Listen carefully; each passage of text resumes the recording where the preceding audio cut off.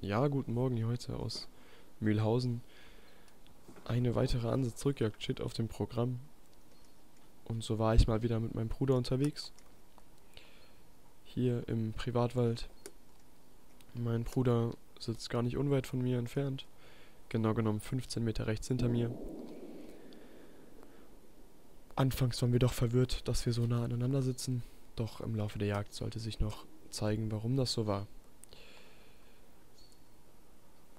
Meine Schussfläche sieht man gut hier auf dieser Kameraeinstellung. Und zwar ist das eine rund 70 Meter lange Schneise gerade vor mir.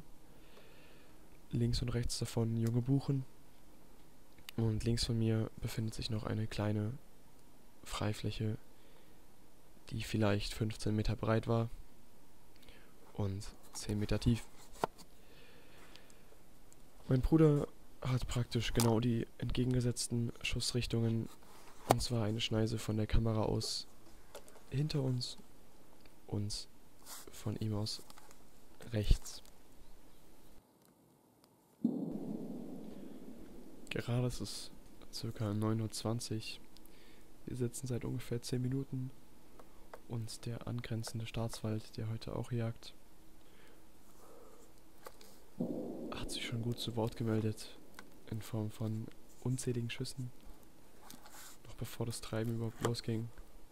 Und so war auf jeden Fall schon mal große Spannung da.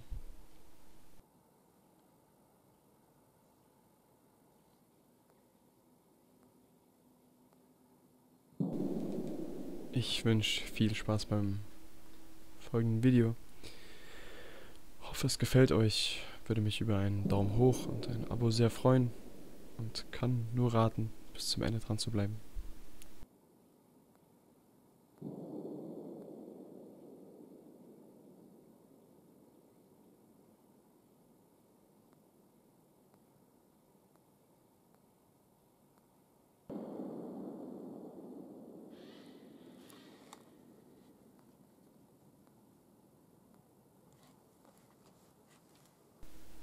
Und dann kündigte sich auch noch vor Beginn des Treibens Anblick an bei meinem Bruder.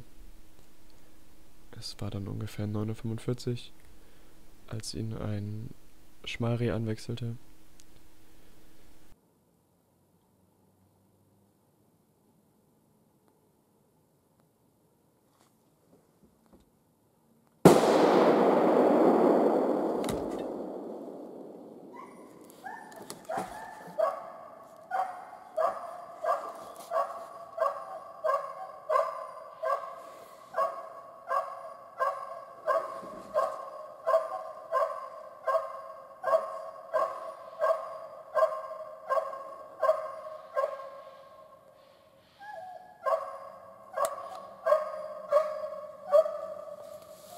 Es war mir zu eng da im Bestand. Es war mir zu eng da im Bestand. Ich habe es da einmal kurz gesehen, aber so viel davor.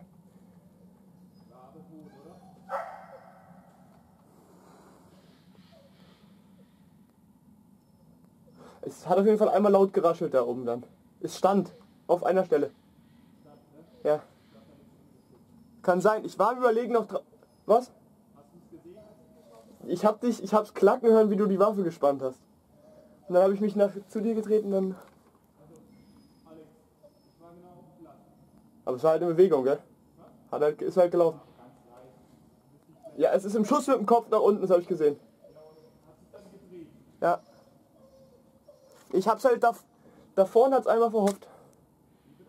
Da vorne hat's einmal verhofft. Aber das war so voller Fe Ich wollte da nicht hinschießen. Da war alles davor im Weg.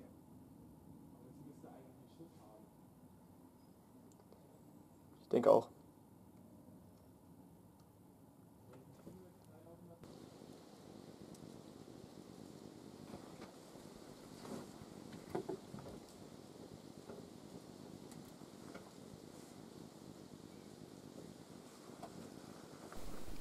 Durch die Nahentfernung der Hochsitze war es dann noch kein Problem, sich direkt auszutauschen.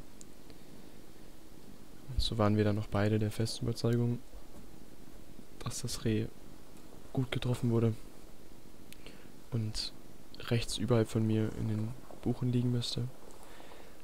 ein bisschen ungünstig war für mich, wie ich auch auf der Aufnahme sage, dass das Schmalreh in Richtung Schneise kam und dann rechts überhalb von mir in den Buchen verhoffte.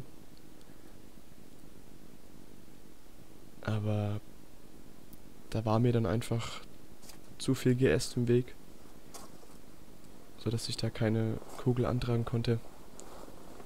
Ähm ja, und dann war das Reh aus meinem Sichtfeld verschwunden. Lief leider nicht über die Schneise. Und ich hörte es dann circa 25 Meter überhalb von mir einmal laut rascheln, sodass ich mir dann doch relativ sicher war, dass das Reh dort verendet ist.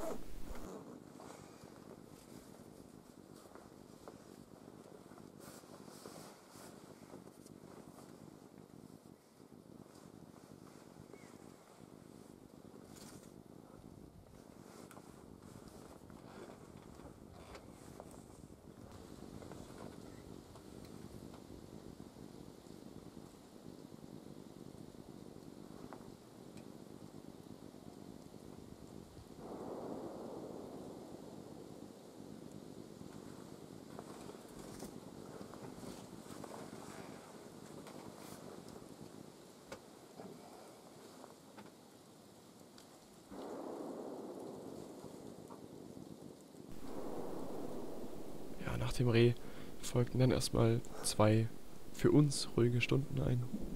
Die Nachbarn drumherum schossen lustig weiter, doch wir blieben erstmal ohne Anblick.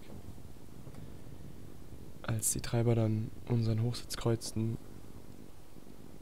konnte ich rechts überhalb von mir in den Buchen ein Stück Rehwild erkennen, das aber in voller Geschwindigkeit sich nach rechts oben aufmachte, sodass ich da wirklich in keinster Weise eine Chance hatte. Doch dann gegen 11.30 Uhr, eine halbe Stunde vor Ende der Jagd, kündigten dann nochmal Nahschüsse wild an.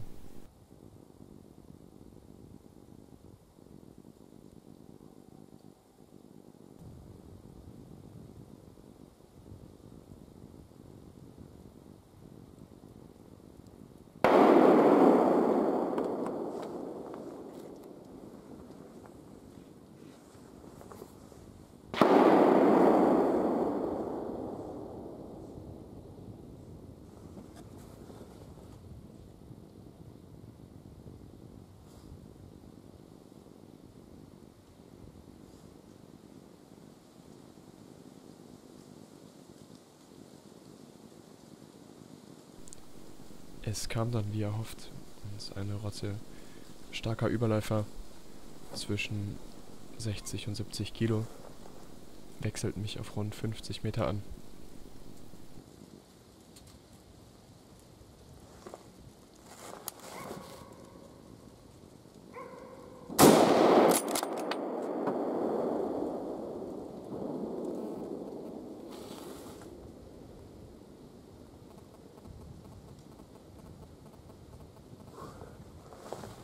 Gesehen? Ja, ich entschied mich dann für das letzte Schwein. Und wie der Zufall es so wollte, war dieses Schwein bereits von meinem Nachbarn beschossen. Dieser konnte leider dem Schwein nur einen Laufschuss antragen. Insofern ich sehr froh war, dass die Sauen mich nochmal kreuzten und ich dann aus Glück genau auf dieses Schwein schoss. Wie man auch auf der Aufnahme sieht, komme ich relativ mittig ab, ein bisschen weich. Dennoch saß der Schuss sauber.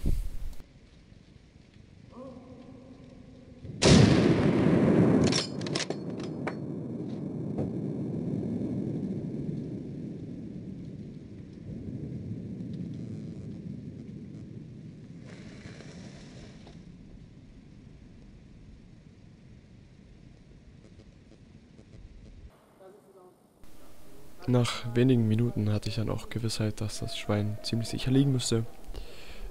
Ich habe mich beim Abkommen gut gefühlt und unser Hund signalisierte uns durch Bellen auch, dass circa 50 Meter links überhalb von uns auch die Sau liegt. Klar, immer wieder Szenen, die man eher ungern sieht. Aber man kann von Glück reden, dass die Sau dann doch passend meinen Stand passiert hat. Und ich noch die Chance hatte, das Schwein dann zu bekommen.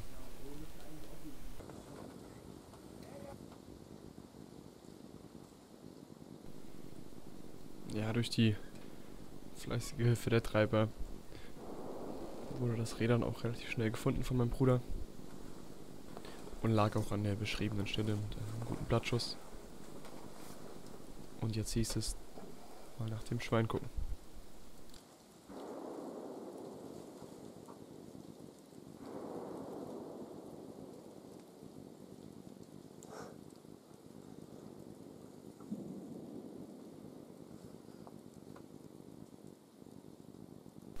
So machte ich mich dann nach Hahn in Ruhe auf, um mal an den Anschluss zu gucken. Und dort fand ich dann auch guten Schweiß. Ich habe die Kamera da nicht mitgenommen, weil ich mir zu dem Zeitpunkt noch nicht ganz sicher war, ob die Sau denn wirklich verendet ist. Insofern habe ich dann sicherheitshalber mal meinen Hund geschnappt und bin zum Anschluss gegangen. Dort angekommen im Anschluss sah ich dann schon Unmengen an Schweiß. Was mir dann ein gutes Gefühl gab, dass wir doch recht hatten mit der Vermutung, dass der Hund da die tote Sau gestellt hat.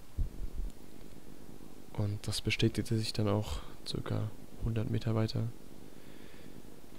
in den Buchen.